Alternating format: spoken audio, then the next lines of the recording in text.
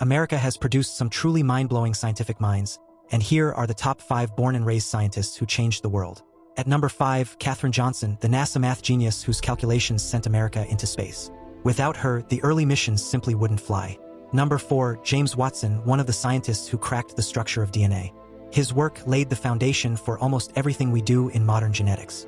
At three, Barbara McClintock, a quiet legend who discovered jumping genes. She was so far ahead of her time that even other scientists didn't believe her at first. Number two, Carl Sagan, the man who made the universe feel alive.